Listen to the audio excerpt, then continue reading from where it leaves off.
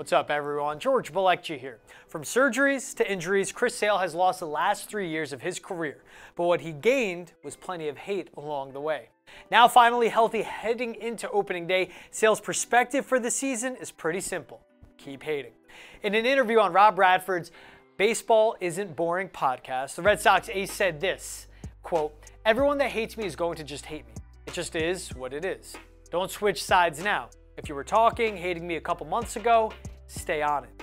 I can be miserable the next couple of years and just get through it, or I can have fun and try to dominate. And if it works out, it works out. End quote. Sale's under contract for one more season before having an option for 2025. Is a seven-time All-Star, World Series champion, and well, just might finally bounce back this season for the Red Sox. PNC Bank, helping to make banking easier.